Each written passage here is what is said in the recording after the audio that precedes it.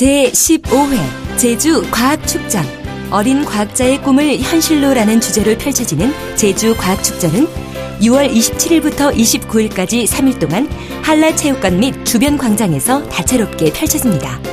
sand 애니메이션 공연, 3D 프린터 및 증강현실, 국립광주과학관, 제주항공우주박물관 특별체험관, 해외 우수과학 체험, 전국 시도과학 체험, 타미와 함께하는 창의과학 놀이터 등이 펼쳐지며 2014 제주 과학싹잔치, 과학경연대회도 동시 진행됩니다.